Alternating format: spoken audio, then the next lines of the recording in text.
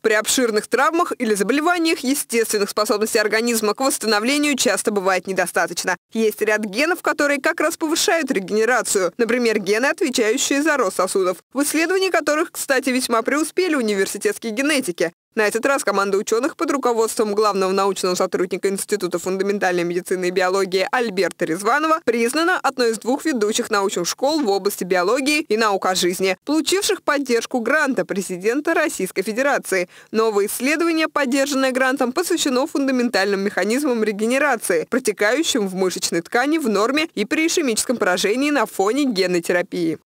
Это очень Э, прорывное направление, с ним связывают большие надежды с лечением заболеваний, в том числе тех, которые ранее считались неизлечимыми, а, либо, э, вот, например, для ишемии нижних конечностей э, золотым стандартом является хирургия. Такая работа выполняется в рамках проекта «Фантом мышцы» совместно с Институтом Рикен. В нем используется технология, суть которой создание атласа активности промоторов и энхансеров в разных клетках и тканях организма.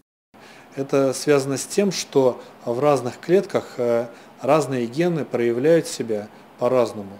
И вот как раз вот промоторы и энхансеры являются теми э, элементами, которые отвечают за то, как ген проявляет себя в той или иной клетке. Если эксперименты пройдут успешно, ученые смогут использовать определенные гены и излечить ряд наследственных заболеваний. Даже если у человека присутствует мутация в гене, то ученым будет достаточно доставить функционирующий ген для коррекции заболеваний. Конечно, таким образом лечится не все на свете, но часть патологии можно ощутимо скорректировать, доставив в организм хорошую копию необходимого гена.